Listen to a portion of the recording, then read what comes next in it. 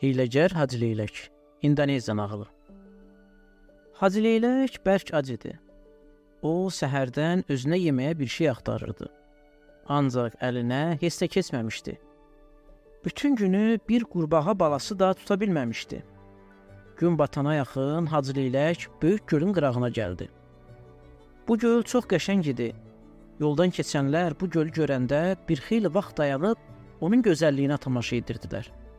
Gölün suyu göz yaşı kimi dupduru. Balıqları da o tərəf bu tərəfə qaçışırdı. Hacı Leylək suya girdi ki, balıqlardan tutub yesin.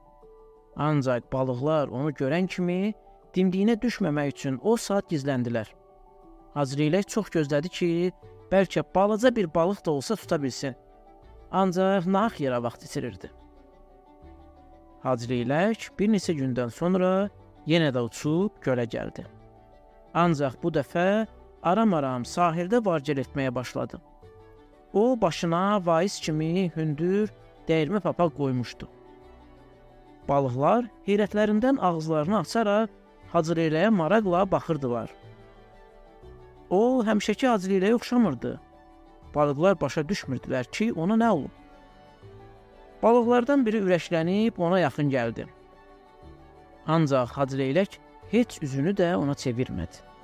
O biraz susandan sonra balıqlara müraciət edərək dedi: Övladlarım, siz daha bundan sonra məndən qorxmamalısınız. Mən qərara gəlmişəm ki, ruhani kimi yaşayam və heç kəsə zərər verməyəm. Balıqlar bunu eşidib bir ağızdan dedilər: Biz sənə inanırıq, hazır elək. Sən gəl, bizə də ağıl öyrət.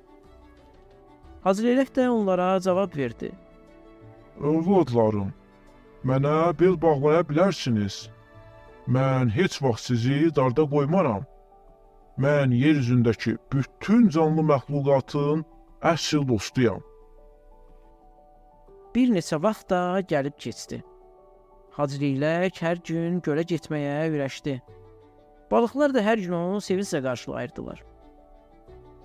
Bir dəfə o sahilə çox qəmgin gəlib balıqların heç birinə baxmadı. Heç biri ilə də danışmadı. Ay vaiz, nə olmuşdur? deyə kiçik bir balıq soruşdu. Nə üçün sənin gözlərin belə kədərlidir? Hacı Leylək güya göz yaşından boğula-boğula yavaşdan dedi. Ah, övladlarım. Mən ona görə ağlayıram ki, sizə çox yazığım gəlir. Heç bir çarə fikirləşib tapa bilmirəm. Axı insanlar hazırlaşır ki, bu gölü qurutsunlar.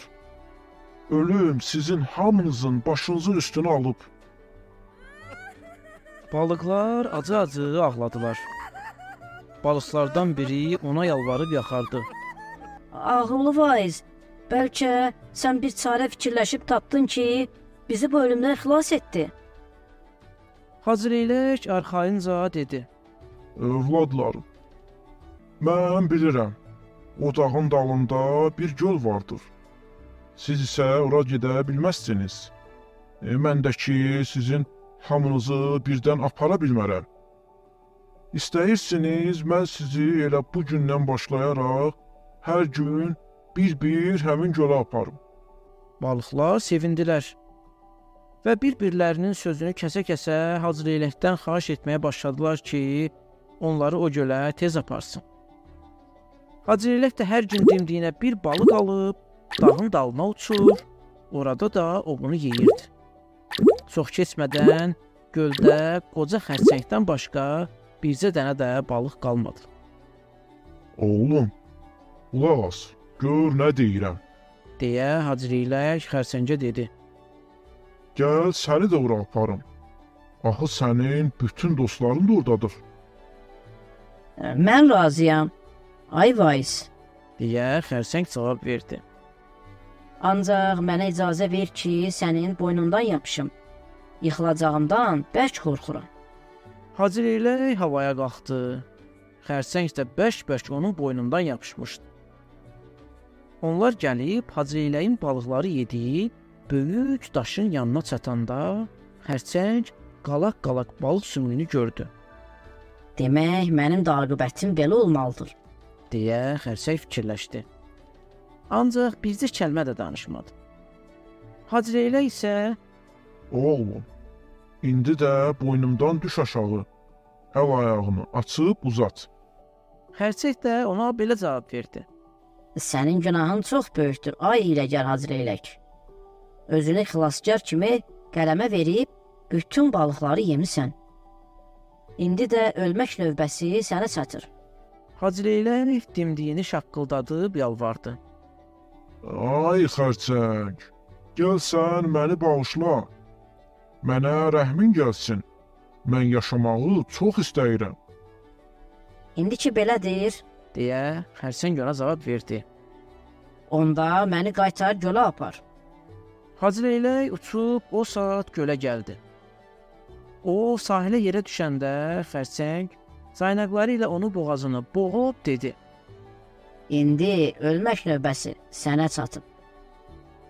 Hacı Leylək öz hiləsinə görə bu cür cəzalandı.